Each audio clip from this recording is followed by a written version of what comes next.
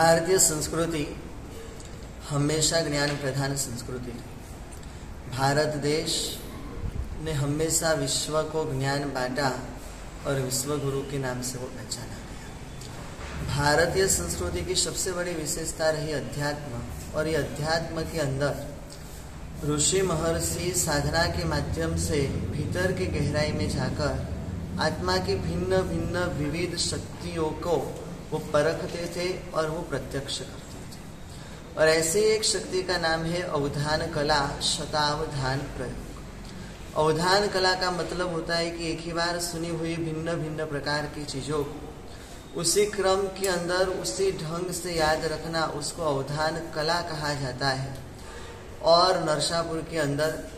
जैन संत, twins, महात्मा नमी और नेमी चंद्र सागर जी महाराजा द्वारा एक अभूतपूर्व शतावधान प्रयोग का आयोजन होने जा रहा है, जिसका उत्साह बहुत ही काफ़ी है। आसपास के बहुत सारे गाँवों से बहुत सारे लोग भी आने वाले हैं। और ये शतावधान प्रयोग की विशेषता ये है कि इस अवधान के अंदर स्पर्श अवधान, दर्शन अवधान, श्रवण अवधान, ब्लाइंड अवधान, माइंड अवधान, मैथ्स अवधान धर्म ग्रंथों के अवधान और अदृश्य अवधान, ऐसी बहुत सारी कला इस शतावधान प्रयोग के भीतर दिखाई जाएगी। ये जो महात्मा ये प्रयोग दिखाने वाले हैं, उनका ऐसे व्यवहारिक शिक्षण सिर्फ़ एक ही कक्षा का है।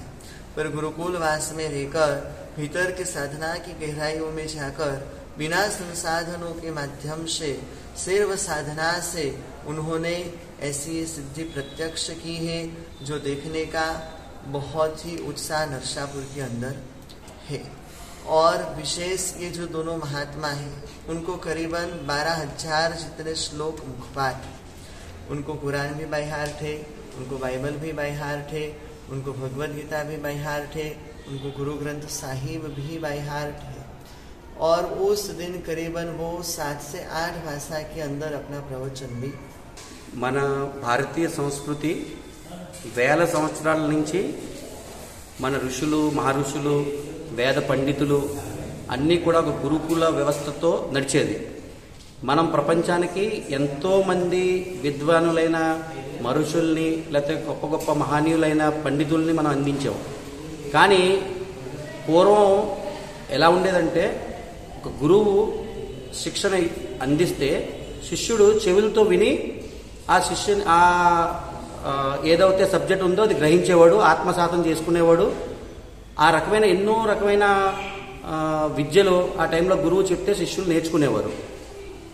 ఇదంతా కూడా మనం పుస్తకాల్లో చదువుతున్నాం తప్పితే మనం లైవ్గా ఈ మధ్య చూస్తానికి మనకి లాస్ట్ వన్ ఇయర్లో కూడా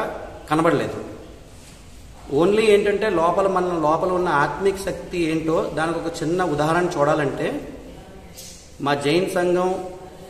ఆయోజితం చేసిన శతాధాన కార్యక్రమం మా జైన్ మునులు ఇద్దరు బాలమునులు వచ్చారు.